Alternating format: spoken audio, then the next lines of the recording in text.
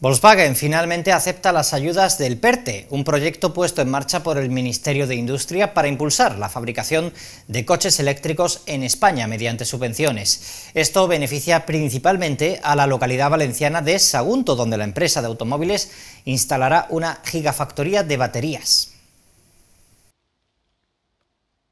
El grupo Volkswagen y SEAT, junto a las 60 empresas que integran la iniciativa Future Fast Forward, han aceptado los 397,37 millones de euros en ayudas adjudicados a esta propuesta industrial en el marco del proyecto estratégico para la recuperación y transformación económica del vehículo eléctrico y conectado. Hoy es un día histórico para todos nosotros.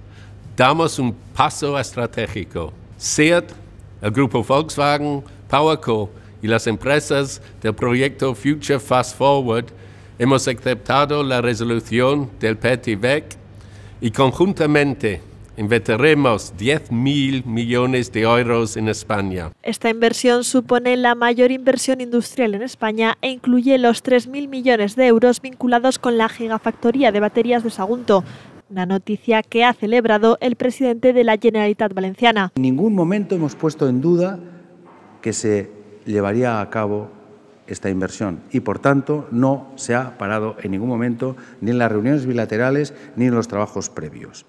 El proyecto, que ayudará a crear miles de puestos de trabajo, es el que recibirá un mayor importe de ayudas dentro del PERTEBEC y que también incluye la electrificación de las fábricas del grupo Volkswagen, de Landaven y en Martorell.